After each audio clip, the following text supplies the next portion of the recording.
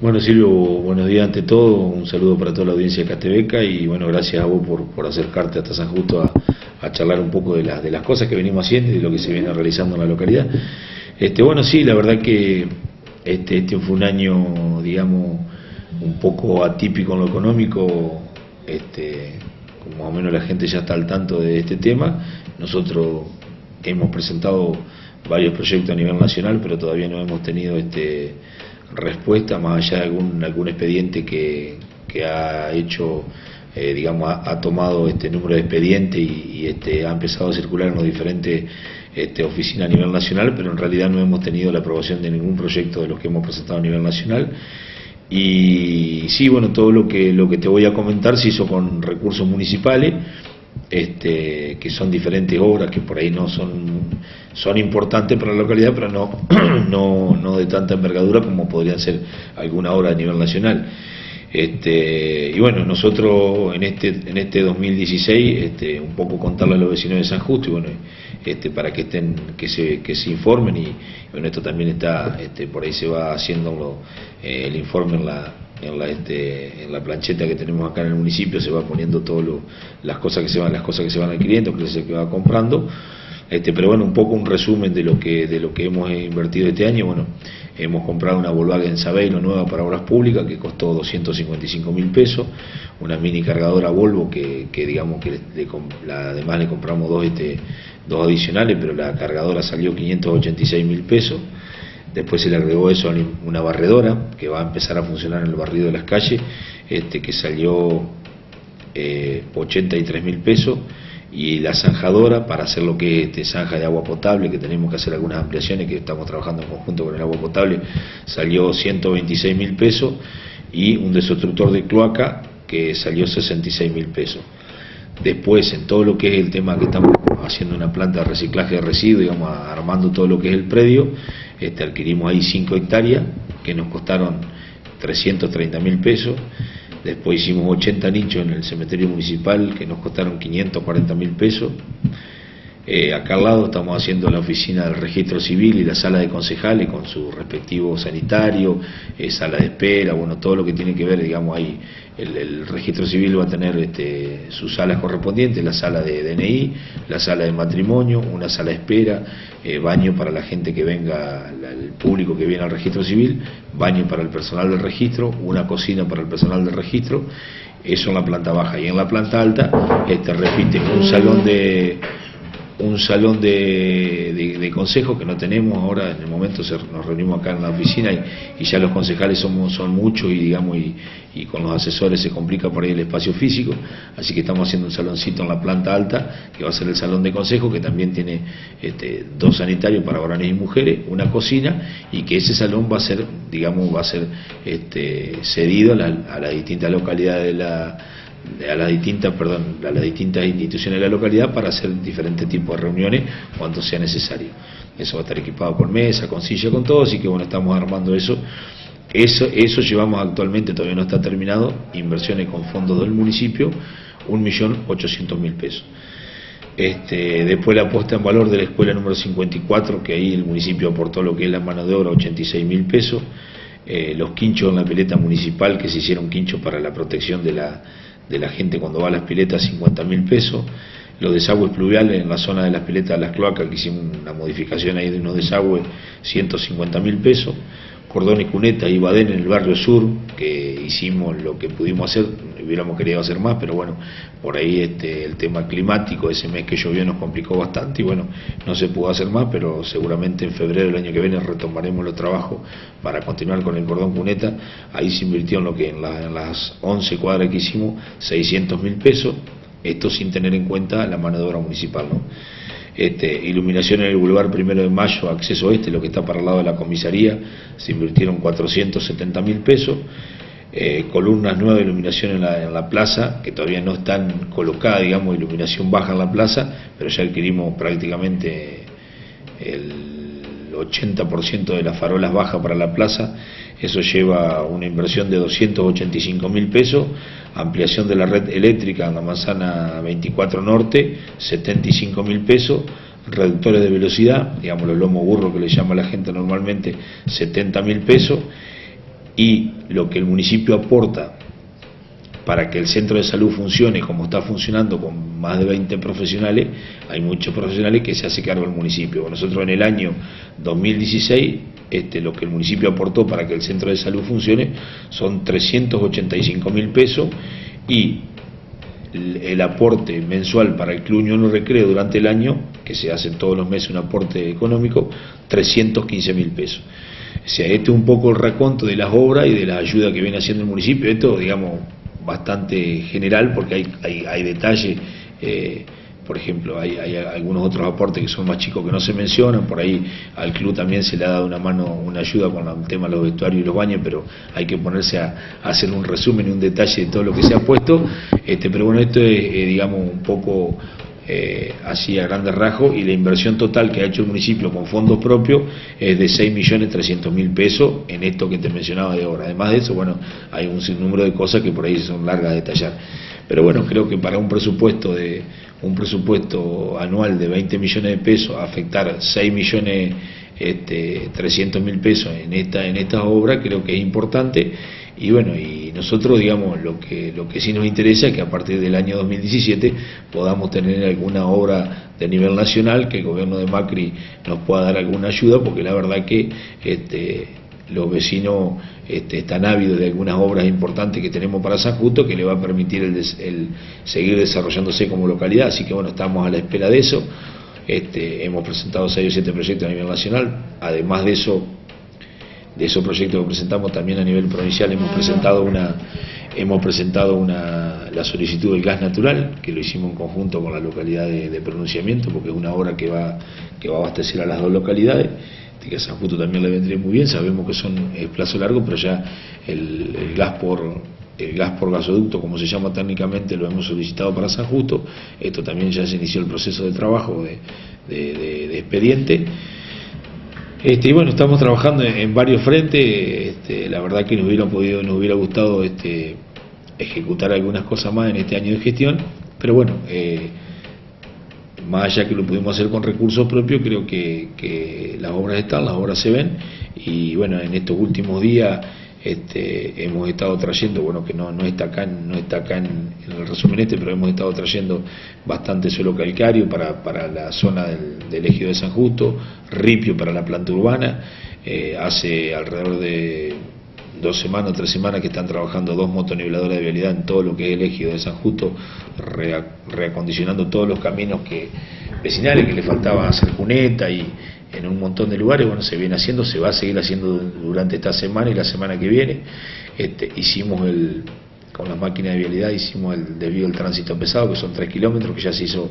este, todo lo que tiene que ver con el levante. Ahora empezamos seguramente en febrero, empezaremos a hacer un par de alcantarillas importantes que hay que hacer para que empezar a colocar brosas sobre ese tránsito pesado. Este, hemos podido conseguir en este año 2016 que la comisaría local tenga un nuevo patrullero, que bueno, vos estuviste filmando eso de ahí, pero para nosotros lo importante es tener un vehículo en condiciones, ahora lo tenemos y la gente está muy conforme por el patrullaje que se hace en las distintas este, zonas de nuestra, nuestro ejido. Eh, se viene trabajando con, también con, lo que tiene que ver con lo social, con un grupo interdisciplinario, que tiene que ver con una psicóloga, una socióloga, y una maestra diferencial, que de esas tres profesionales, la maestra diferencial es de San Justo y las otras dos chicas son de Concesión del Uruguay. Esto ha permitido tener un desarrollo este, mucho más importante para los chicos que tienen alguna dificultad en el aprendizaje. Eh, tenemos algunos casos de, violencia familiar que se están atendiendo con este grupo interdisciplinario. Esto fue una solicitud previo a las elecciones que nosotros ganamos en la localidad. Este, había algunas instituciones que nos habían solicitado esto, lo pusimos en funcionamiento, eso también tiene un costo que no está acá detallado en lo que yo recién mencionaba. Y bueno, estamos tratando de, digamos, de ir, este, bueno, creamos el juzgado de falta municipal también en la, semana pasada por ordenanza, ahora hay que hacer la implementación, pero la idea es que a partir de febrero el tema del tema del control de las motos y lo que son ruidos molestos, que es lo que más está complicando la convivencia en, la localidad, se puede ir subsanando. Este, eh, bueno, eh, digamos, esto, esto va a permitir, eh, si bien tener un mejor control sobre cómo se va desarrollando la localidad, también tiene costo. Este grupo interdisciplinario hay que pagarle el sueldo a las tres chicas y ahora con el jugado falta lo mismo. Este, hay que tener un par de, de este de profesionales que atiendan el jugador de falta este, pero bueno, eh, todo, todo crecimiento de una localidad lleva aparejado un sinnúmero de cosas que se van a ir ajustando a medida que vayamos avanzando en la gestión. Así que bueno, la, perspectiva nuestra es este, para el año que viene poder conseguir alguna obra de nivel nacional. Tenemos este, ahí con la gente de vialidad de la provincia, hemos hecho un par de acuerdos este, en, tres obras que nosotros creemos que son importantes para la zona, como es la, la rotonda en la intersección de la ruta 24 y 23 ahí la esquina de la Virgen de los Gamelos, que le decimos nosotros. Bueno, ellos nos dijeron que para estamos, estamos cerca de fin de año, cuando hicimos la visita con la directora de vialidad, que para antes de fin de año la iban a iluminar, iban a poner ocho torres de iluminación, por lo menos iluminada, para que sea menos riesgoso. Este, eso bueno, todavía no está, pero a lo mejor por ahí entre esto, esta semana y la semana que viene se ejecuta. Después este, la finalización del puente sobre la ruta 24 cercano a la escuela 11, que también era un compromiso que Vialidad este, nos dijo que le iba a pagar a la empresa para que ese puente se pueda terminar. Y este, una repavimentación en un tramo del acceso a San Justo que está un poco deteriorado al, lado del puente de la Vasca. Este, bueno, esas tres obras, digamos, un compromiso que hizo Vialidad para darnos una mano en eso. Y bueno, nosotros seguramente lo que se pueda hacer este año y lo que no se podrá hacer el año que viene. Pero digo, hay este hay una, una, serie de obras importantes que, están esperando su financiamiento y que nosotros creemos que va a estar para el año que viene. Y bueno, lo del tránsito empezado, ya ir avisándole a la gente que seguramente a partir del año que viene, de los primeros meses del año que viene, no se va a poder circular más ni con camiones, ni con mosquitos, ni con este, trilladoras, nada por acá por el centro, digamos. Este, no por una cuestión que no se pueda pasar, sino por una cuestión de ordenamiento de, urbanización. Así que seguramente, este, obviamente que haremos la cartelería correspondiente, pero acá, viniendo por la ruta 24, un kilómetro antes de llegar a San Justo, a mano derecha, va a estar el desvío del tránsito pesado, que se va a hacer, este, desde ahí se trasladan un kilómetro hacia el sur, y ahí después a la izquierda, dos kilómetros hacia el este, y este, se van a conectar con el acceso asfaltado este, a San Justo, digamos, ¿no? Van a ser tres kilómetros del del tránsito pesado. Esto, obviamente, nosotros en los primeros meses del año que viene estaremos haciendo lo que te decía recién, las alcantarillas, embrosando y enripiando esto,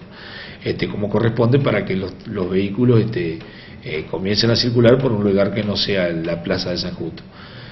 Eh, bueno, hay, hay algunas otras cosas que, que, venimos haciendo también con los centros educativos, este, ahora se va a hacer justamente la semana pasada la provincia, eh, una adenda que había de una obra que se estaba haciendo en la escuela 10, perdón, en, el edificio de la escuela 10, pero para la escuela 21, que comparten edificio. Este, bueno, ahora llegó el dinero y vamos a empezar ahora, los primeros días de enero, empezamos a hacer la, eh, la galería esa que está, este, que está sin terminar, se va a hacer toda la galería nueva que tiene 30 metros de largo por 2 de ancho, hay que hacer eh, romper el hormigón del piso que está, o sea, no es hormigón, es un hormigón pobre, digamos, hacer todo, colocar su cerámica correspondiente y eso se va a empezar a hacer en enero. Tenemos también un compromiso de un subsidio para el Instituto Agrotécnico San José Obrero para las aulas y con la escuela técnica este, vamos a hacer un aula más porque el año que viene van a empezar, gracias a Dios, el secundario, el ciclo básico de la escuela técnica, digamos, los chicos en San Justo van a tener la posibilidad de tener tres secundarios, el secundario agrotécnico, el secundario público con orientación humanística que está en la escuela 21 y el secundario de la escuela técnica, digamos, ya a partir del ciclo lectivo 2017, este, este otro logro más que se pudo hacer en estos últimos días de que este, en la escuela técnica haya ciclo básico, que era una de las demandas que nosotros tenemos hace cinco años, después de haber conseguido el ciclo superior. Así que bueno, eh, eh, de paso los chicos ya aprovechar los micrófonos de ustedes para los chicos que quieran inclinarse por una carrera técnica de maestro mayor de obra o técnico electromecánico, van a poder hacer la carrera completa en la escuela técnica, los tres años de ciclo básico más el ciclo superior. Este, también el año que viene, ya estamos bastante cerca de febrero, en febrero se va a empezar a dictar acá en el, Agro, Instituto Agrotécnico San José Obrero una carrera de técnico superior en administración contable. Estos son tres años, es una sede, una sede de la Universidad de Gualeguaychú acá en San Justo. En el mes de febrero este, se va a hacer una, preparación, sobre todo en matemática, para todos los... esto lo puede hacer toda aquella persona que ya tenga terminado el secundario. Hay gente que, por ejemplo, yo tengo empleados municipales que van a hacer el curso porque les interesa, este, bueno, van a hacer un, un refrescar los conocimientos en el mes de febrero, esto lo está organizando el Instituto Agrotécnico, para empezar el ciclo lectivo en marzo, como corresponde. Todos los profesores son de la Facultad de Gualeguaychú, y la idea nuestra es poder hacer los tres años que se reciben técnico superior en administración contable y mientras transcurre estos tres años nosotros poder conseguir los dos años que faltarían para, para complementar la carrera de contador público nacional. Si no se puede conseguir en San Justo, con esta formación se va a poder seguir en Gualeguaychú, con dos años se recibe en contador, o en Santa Fe se van a poder recibir en dos facultades que tienen la misma orientación, se van a poder recibir de contadores públicos. La idea nuestra es traer la carrera de contador público los dos últimos años que nos están faltando para que los chicos que empiezan el año que viene puedan hacer sus cinco años y terminar contador público en San Justo tenemos los tres años conseguidos, nos faltarían conseguir los dos años que sigue. Esto estamos trabajando con el, con el apoderado legal del colegio, con el, con el padre Mariano y con todo lo, el, el, director de la escuela y con todos los directivos de la escuela para poder lograr que esto a partir del año sería 2017, 2018, en el 2020 poder tener eh, los dos años que faltan para carrera de contador público, ¿no? Así que esto estamos trabajando, no es fácil, no sé si se consigue de un día para otro. Este, el Consejo General de Educación este, ha prometido que para el ciclo electivo, tanto en la escuela técnica como en el agrotécnico, estén las horas cátedra, que son lo que deben cobrar los profesores. Así que bueno, es toda una, pelea diaria, pero este, con el acompañamiento de los directivos del agrotécnico y de la escuela técnica hemos llevado adelante todas estas gestiones que permiten tener... Eh, más posibilidades educativas en San Justo. Así que creo que fue un año muy positivo, eh, más allá de que, te vuelvo a repetir, no hemos conseguido obras importantes, pero hemos hecho obras este, de índole más chica pero importante y hemos podido conseguir dos carreras importantes para la localidad. Y bueno, y tenemos algunas cosas más así este, que, que, se hace muy largo de decir en un reportaje, pero la verdad que bueno, ha sido un año muy positivo para nosotros y bueno, esperemos que el año que viene sabemos por lo que hemos estado charlando con el gobernador, que va a ser muy difícil en lo económico el año que viene.